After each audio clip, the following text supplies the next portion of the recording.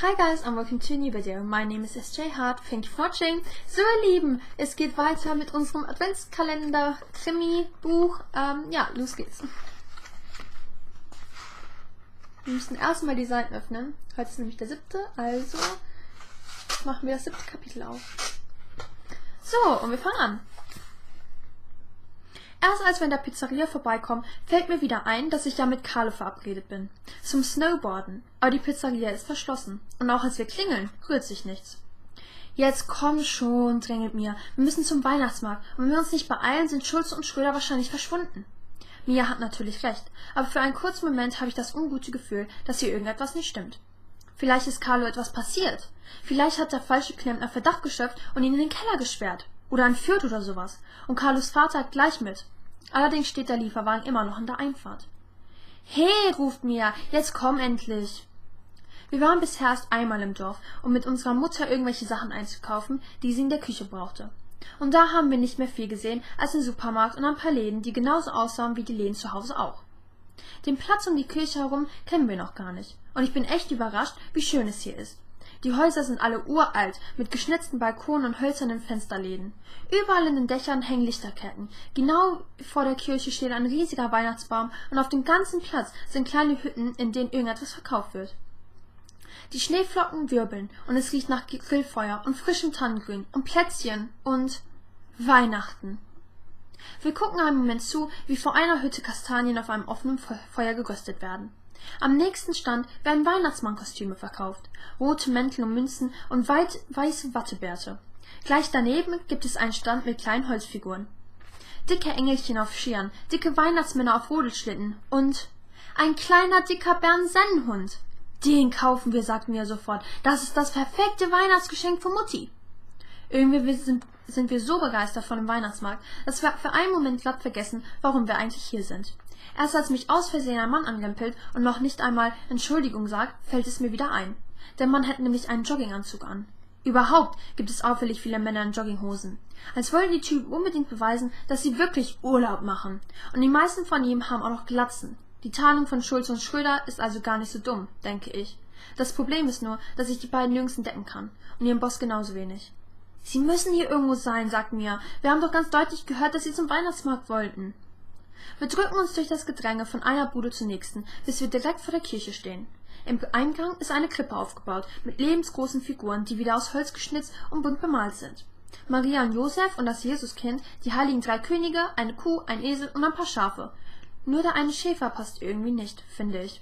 Weil es ja zu der Zeit, als Jesus geboren wurde, weder Jogginghosen noch Handys gab. Aber der Schäfer hat eindeutig eine Jogginghose an und ein Handy am Ohr. Das ist der falsche Knempner aus Carlos Pizzeria, flüstert, flüstert Mia im gleichen Moment. Und jede Wette, dass er gerade wieder mit Schulz und Schröder telefoniert, sage ich. Wahrscheinlich sucht er sie auch.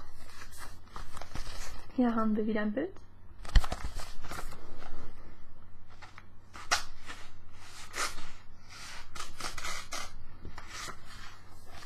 Aber wo sind sie? fragt Mia und blickt sich ratlos um.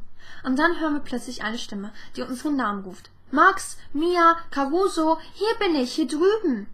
Caruso fängt an zu bellen und zerrt an der Leine. Gleich darauf entdecken wir Carlo. Die Pizzabude, aus der uns zuwinkt, sieht so versteckt in einem Toreinfahrt, dass wir vorhin glatt vorbeigelaufen sind. Aus dem Augenwinkel sehe ich noch, dass der falsche Klempner hinter uns herblickt, als wir zu Carlo laufen. Ich hoffe nur, dass er uns nicht erkannt hat. Gut, dass ihr da seid, begrüßt uns Carlo. Ich wollte eigentlich noch Bescheid sagen, dass ich heute Nachmittag meinem Vater helfen muss. Aber irgendwie habe ich es doch total vergessen. Sorry, Max. Tut mir echt leid. Wir müssen die Snowboardstunde auf morgen verschieben.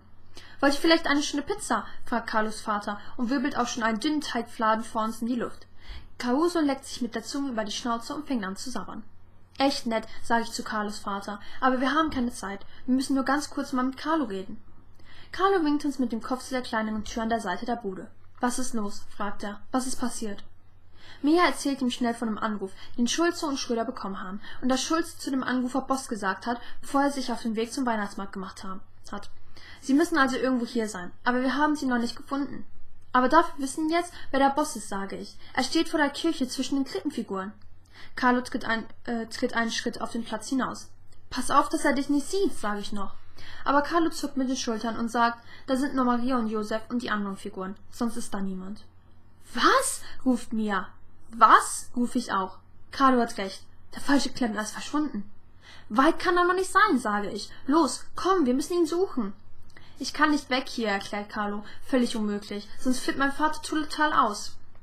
Er zeigt auf die Schlange, die sich schon wieder vor der Pizzabude gebildet hat. Ihr müsst das allein durchziehen, Leute. Sagt mal, meint er dann plötzlich, habt ihr eigentlich kein Handy? Dann können wir uns anrufen oder Nachrichten schicken, wenn irgendwas ist. Nein, antwortet Mia. Es hat auch etwas damit zu tun, dass wir nicht so viel Geld haben. Und unsere Mutter hat außerdem etwas gegen Handys. Schön blöd, sagt Carlo, aber Tüte Städter. Hier bei uns hat jeder ein Handy. Caruso guckt deutlich beleidigt, als er neben uns hertrottet. Wenn der Boss über den Platz verschwunden wäre, hätten wir ihn im Karlsbude aussehen müssen, überlege ich laut. Also gibt es nur eine Möglichkeit. Mia nickt. Die Kirche. Genau, sage ich. Aber da dürfen wir mit Caruso bestimmt nicht rein. Also müssen wir ihn irgendwo anbinden, ist doch klar. Am besten bei der Weihnachtskappe. Zwischen den Tieren fällt er nicht weiter auf.